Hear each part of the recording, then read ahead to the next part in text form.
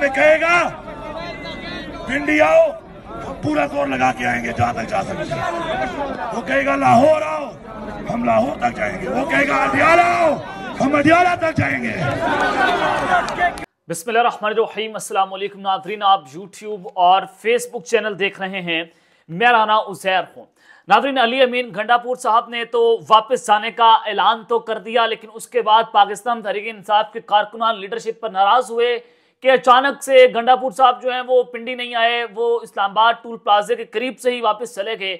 लेकिन ये इतना दानिशमंदाना फैसला था अली अमीन गंडापुर का कि लोगों को आहिस्ता आहिस्ता बात समझ आना शुरू हो गई कि जनाब आखिर हुकूमत के साथ गेम क्या हुई है। ये बहुत कामयाब चाल थी, बहुत बड़ी साजिश से आज अली अमीन गंडापुर साहब ने बचा दिया है और फिर उसके बाद हुकूमत में सफ़ेद मातम बिछा, मिर्चें लगी। जनाब, ये असल वजह थी कि आज अली अमीन घंडापुर साहब जो है, उन्होंने वारदात भी डाल दी, पैगाम भी पहुँचा दिया और फिर अटक पुल भी क्रॉस किया और वो कामयाब एहतजाज करके वापस भी चले गए। मैं अब कुछ अहम खबरें रात के इस पहर लेकर आपकी खदमत में हाजिर हुआ हूँ। सबसे पहली खबर पर आज हमने बात करनी है कि रात गए एक बहुत बड़ी ब्रेकिंग न्यूज़ इस वक्त सामने आई है और इमरान खान का पैगाम जब चाहूँगा, मैं रिहा हो जाऊँगा, जेल तोड़कर आपके दरमियान होऊँगा। ये एक बहुत बड़ा पैगाम है, ये एक बहुत बड़ी डेवलपमेंट है रात के इस पहर में। ये मामला और माजरा क्या है इस हवाले से? अहम तरीन तफसलात जो है वो मैंने आपके सामने रखनी है। और साथ ही साथ आप सबसे दरख्वास्त कि आपने इस चैनल को सब्सक्राइब करना मत भूलिए आप। क्योंकि फायरवॉल एक्टिव हो चुकी है और फायरवॉल को असर ज़ाहिर करने के लिए आप जो है वो ज़्यादा से ज़्यादा हमारे चैनल को सब्सक्राइब करें शेयर करें लाइक करें, ताकि हम, हमारी आवाज़ जो है उसको दबाए जाने का सिलसिला आप लोगों ने रोकना है। तो दूसरी खबर पर हमने बात करनी है कि अब अगला पड़ाव अडयाला जेल में होगा। इसका एक बहुत बड़ा ऐलान हो चुका है, एक तकरीर है, वो आपके सामने चलवानी है कि ताकतवर हलकों में इस वक्त दौड़ें लगी हुई हैं। किसी को कुछ समझ नहीं आ रहा। गेम इस वक्त सबके हाथ से निकल चुकी है और इस मुल्क की असल इस्टेब्लिशमेंट है इमरान अहमद खान न्यासी। ये तमाम तर तफसलात हैं जो वन बाय वन आपके सामने रखनी है। जनाब, आज अली अमीन गंडापुर साहब एक बहुत बड़ा काफिला लेकर आते हैं। एहतजाज किया। आज उन्होंने मैसेज दिया पंजाब हुकूमत को और जिस तरह से पंजाब के वजरा की प्रेस कॉन्फ्रेंसेज आपने देखी, one by one press conference हो रही थी तो इनकी बौखलाहट, इनका कर्फ्यू लगाना, आज पिंडी को जेल में तब्दील करना और दफ़ा एक सौ चालीस नाफिज करना। फिर पुलिस को आज खुले अख्तियार थे। सहाफ़ियों पर चढ़ दौड़े, सहाफ़ियों पर तशद किया, लोगों पर तशद किया, गिरफ्तारियाँ हुई। एक शख्स भी अगर कोई आता था पाकिस्तान तहरीक इंसाफ का तो उसको भी गिरफ़्तार किया जाता था। उसके साथ भी तूफ़ान बदतमीजी किया गया। तो आज मैंने पाकिस्तान को पुलिस स्टेट, फ़लस्तीन और इसराइल और आप कहें कि मकबूजा कश्मीर, ये सब कुछ बनते हुए देखा, अपनी आँखों से देखा। आपको बताया भी कि हम वहाँ पर रिपोर्ट भी कर रहे थे। लेकिन आज की जो सबसे अहम बात यह है कि शायद मीडिया तो ज़ाहिर आज कवरेज नहीं कर रहा। आज शायद उस खबर पर किसी यूट्यूबर ने भी बात नहीं की होगी कि आज खवतिन ने बहुत रेजिस्टेंस दिखाई है। समाविया ताहिर साहब साहिबा के साथ जो बदतमीजी की गई पुलिस की जानब से वो बहुत अफसोसनाक है कि उनको गिरफ़्तार किया गया, उन्होंने फ्रंट से लीड किया। तैयबा राजा कल भी उन्होंने डोर टू डोर कैंपेन की और आज भी जनाब वो आपको फ्रंट से लीड करती हुई दिखाई दी। आलिया हमजा साहिबा इमरान खान की बहनों के साथ वो लियाकत बाग पहुँची, वहाँ पर दाखिल हुई और उन्होंने बहुत रेजिस्टेंस दिखाई। तो ये खातन जो हैं, उनको आज हमें सल्यूट पेश करना चाहिए कि वो फ्रंट से लीड कर रहे हैं और खातन ने हर महाज पर पाकिस्तान तहरीक जो है उसकी मुजामती बयानी के साथ वो खड़े हुए हैं। अब इमरान खान साहब को कहा गया था कि अवाम आपके पीछे नहीं है अवाम आपकी तो पॉपुलैरिटी नहीं है आप तो सिर्फ़ सोशल मीडिया के वजी अजम हैं। आप जनाब माफ़ी मांगे, घर यहाँ से मुल्क छोड़कर बाहर चले जाएँ, सुकून की ज़िंदगी गुजारें तो आज आवाम ने बता दिया कि कौन जो है वो किसके साथ जनाब खड़ी हुई है। एक जानब तो ये जो है वो सूरत हाल है। जब अली अमीन घंडापुर साहब ने ऐलान किया कि वो वापस जा रहे हैं तो ज़ाहिर वर्कर्स जो हैं वो नाराज़ हुए, मायूस हुए कि हमें पिंडी जाना चाहिए। अब अंदाज़ा करें कि लावा पकड़ें लोग इतना गुस्सा हुए थे कि हमने पिंडी जाना उनका मुकाबला करना ज़ाहिर वो सारे पठान आ रहे थे गंडापुर साहब के साथ। वो तो सर फिर हैं। उन्होंने फिर वो करना था, वो इनका दुर्गत बनानी थी, चाहे वो पुलिस होती, कोई भी होता, कि फिर पाकिस्तान के हालात बहुत ख़राब हो जाते और फिर लोग आगे लेट गए बुजरा के आगे, अली मिन गंडापुर की गाड़ियों के आगे, कि हम आपको वापस नहीं जाने देंगे। तो अब उसके बाद फिर अली मिन गंडापुर ने जब वापसी का ऐलान किया तो कारकुन मुश्किल हुए और बुरहान इंटरचेंज के करीब धरना दिया तो हम आज़म सवाती नाराज़ कारकुनों को मनाने में कामयाब हो गए। एहतजाज खत्म होने के बावजूद कारकुनों ने बुरहान इंटरचेंज के करीब धरना दिया और वापस पुशावर जाने से इनकार कर दिया। वजी अली अमीन गंडापुर कारकुनों में फंस के और तहरीक इंसाफ कारकुनों ने उनका रास्ता रोक दिया था और कारकुनों का कहना था कि आज हर सूरत वजीराला हमारे साथ रवलपिंडी जाएँगे। कारकुनों ने वापसी नामंजूर के नारे भी लगाए और कारकुन ने वजीराला अली अमीन गंडापुर की गाड़ी को घेराव किया, जिसके बाद उनके स्कॉड और कारकुनों में शदीद कलामी भी हुई।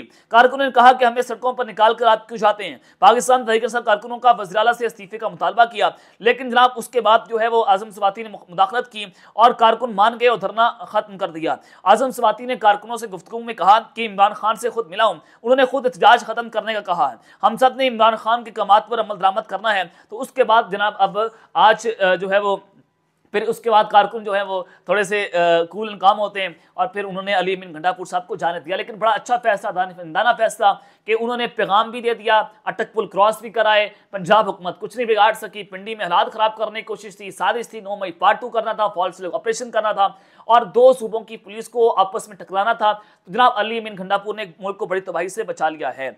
और अब ये अली अमीन घंटापुर साहब वापस क्यों गए हैं, ये एक बड़ा अहम तरीन सवाल है, जो जरा आपके सामने मैं जनाब रख भी देता हूँ कि नून लीग वाले भी बड़े परेशान हैं कि गंडापुर साहब जनाब वापस क्यों गए?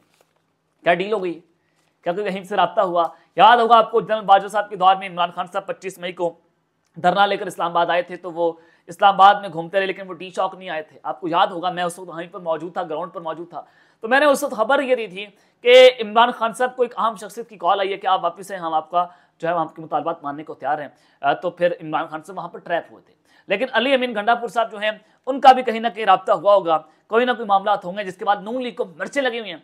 वो डरे हुए हैं, वो वहाँ पर सफ़ी मातम है कि अली अमीन घंडापुर रावलपिंडी जनाब क्यों नहीं आया आप ये देखें कि रेंजर्स की छह कंपनियाँ जो है उन्होंने तलब की हुई थी। आज एक रेंजर का एहलकार आपको ग्राउंड पर नज़र नहीं आया।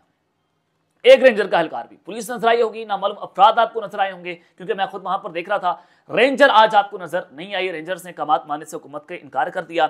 हालाँकि रेंजर्स को तलब किया गया था। अब ये अच्छा फैसला था कि अली अमीन गंडापुर साहब जो है वहाँ से चले गए। पाकिस्तान तरीके साहब कामयाब होगी। और ये सारा पैगाम मौलाना फजलरमान साहब को भी है कि मौलाना साहब अब आप अंदाज़ा करें कि कौम किसके पीछे खड़ी हुई है। अगर आपने आईनी तरमीन को वोट दे दिया तो फिर डेफिनेटली आप जो पॉपुलरिटी इंजॉय कर रहे हैं तो फिर आवाम आपको जूते मारेगी। जैसे आपको पहले भी आपकी जो सूरत हाल थी, फिर वही सारा कुछ होगा। तो ये मौलाना फजलरहमान को भी आज पैगाम पहुँच गया कि आज कारकुन जो है वो मायूस से, आज कारकुन गुस्से में थे कि जनाब हमने पिंडी जाकर इनका मुकाबला कर रहे हैं। तो इससे अंदाज़ा करें कि जनाब पाकिस्तान की असल इस्टेब्लिशमेंट पाकिस्तान की आवाम है, लोगों ने बहुत रजिस्ट किया शैलिंग खाई, रबड़ की गोलियाँ खाई उनकी गिरफ्तारियाँ तशद हुआ, सारा कुछ लोगों ने आज बर्दाश्त किया और इमरान खान साहब की आवाज़ पर जनाब उन्होंने लब्बई कहा है। अब आ जाए असल खबरों की जानब के अब जो अगला पड़ाव है, वो डयाला जेल में होगा। व ताकतवर हकों की जनाब दौड़ें लग चुकी हैं। अली अमीन घंडापुर साहब की तकरीर जो है, वो आज उन्होंने की। अली अमीन घंडापुर साहब जब तकरीर कर रहे थे तो उन्होंने कहा कि अब हम इमरान खान साहब हमें जहाँ पर कहेंगे, हम जाएँगे, लाहौर कहेंगे लाहौर जाएँगे इस्लाबाद कहेंगे, इस्लामाबाद जाएँगे, पिंडी कहेंगे, पिंडी आएँगे। और अब अगला पड़ाव हमारा अड्याला जेल में होगा। तो अब अगला मार्च पाकिस्तान तहरीक इंसाफ अड्याला जेल में भी कर सकती है। वहाँ पर लॉन्ग मार्च किया जाएगा, वहाँ पर धरना दिया जाएगा। वज़ीर अला अली अमीन घंडापुर साहब वहाँ से फिर लीड भी करेंगे। तो ये एक बड़ी वाज मैसेज जो है वाज ताकतवर हल्कों को दिया गया है। तो वहाँ से दौड़े लगी हुई हैं कि अब इमरान खान साहब की रिहाई के लिए पाकिस्तान तहरीक इंसाफ भरपूर तरीके से एक्टिव हो चुकी है। पाकिस्तान तहरीक इंसाफ ने अब ये फैसला कर लिया है कि अब हमें इमरान खान साहब ऐसे ही रहा होंगे। दायर अदालतें मैनेज है जरिस जो है, उनको धमकियाँ दी जा रही हैं। लेकिन जस्टिस मंसूर अली शाह के साथ राय बताते हैं कि आठ जजेस नहीं आप दो तहाई जजेस यानी कि दो तहाई अक्सर उनको हासिल है। वो जनाब वो पूरी तरह से जजेस उनके साथ मौजूद हैं और वो इस डटे हुए हैं और काजी साहब के लिए वो बहुत बड़ा टफ टाइम पैदा कर सकते हैं। लेकिन यही सूरत अगर, अगर आप ये जनाब देखें कि इमरान खान साहब के लिए जब अडेला जेल मार्च होगा तो फिर आप इमरान खान साहब को बाहर आने से भी नहीं रोक सकते। तो रात के एक बहुत बड़ी ब्रेकिंग न्यूज़ सामने आई है कि इमरान खान का पैगाम, जिसके बाद अब रिहाई होने जा रही है, जब इमरान खान साहब चाहेंगे तो उस वक्त जनाब रिहाई होगी। अब इमरान खान साहब को जब कहा गया था कि आपके साथ कुछ नहीं है, आपके नाम के ऊपर काटा लग चुका है रेड लाइन लग चुकी है क्रॉस लग चुका है अवाम आपके पास नहीं निकल रही तो ये नैरेटिव जो है बनाया गया था। तो आज अवाम निकली है। तशद फस्ताइत के बावजूद, जुल्म और जबर के बावजूद अवाम निकली है ख़वातीन निकली हैं। तो ये मैसेज किसको था? ये मैसेज पाकिस्तान की इस्टेब्लिशमेंट को था।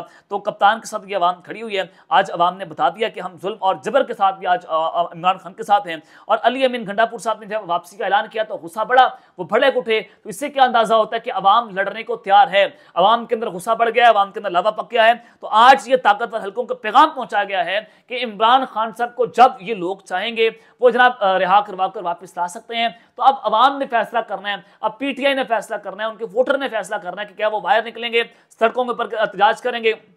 ज़ाहिर है अगर बड़ी तादाद के अंदर पूरा केपी के बाहर आता है, पंजाब को रुख करता है तो फिर क्या उस समंदर को पंजाब पुलिस रोक पाएगी या इस्लामाबाद पुलिस रोक पाएगी? आज सिर्फ़ मुझे इसका जवाब दे दें। ये पैगाम पहुँच गया ताकतवर हल्कों को कि अब आप इमरान खान साहब को रिहा करने से नहीं रोक सकते।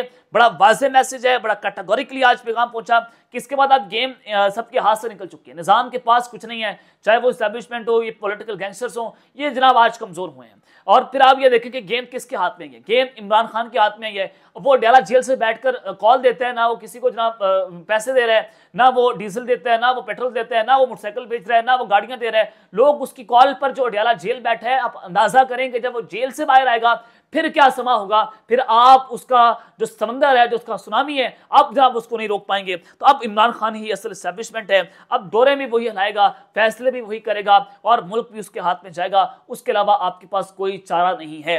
अब इमरान खान सब की रिहाई की, के लिए आज अवाम ने अपना पैगाम भी दिया।